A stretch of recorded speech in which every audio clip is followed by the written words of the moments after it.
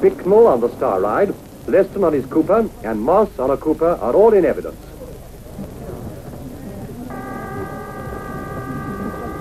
One minute to go. Timekeeper Ebby absorbed in his watches. And then spectators at the first corner hear a roar and get a good view of the field as they sweep into ramp bend. And immediately someone goes onto the grass.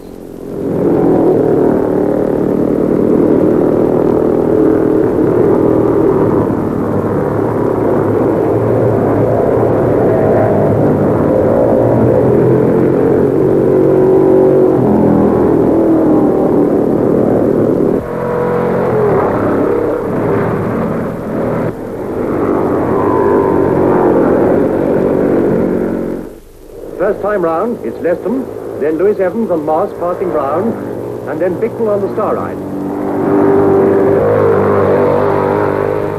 Second time round ramp, and again someone grasses, and it's Brandon this time.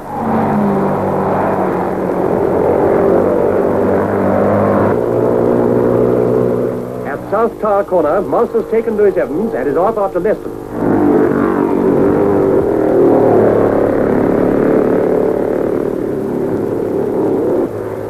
The start of the third lap, it's still Leston, then Moss, and Bicknell trying to get past Lewis Evans into third place. And he's passed on the inside at ramp. Now Moss is putting the pressure on Leston. Bicknell grasses. Moss is past Leston at Park Curve as they scream down the link road and past the start.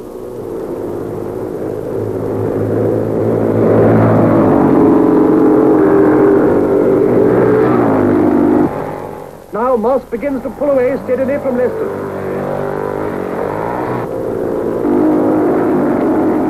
And behind the two of them, Bicknell starts a hot pursuit of Leston.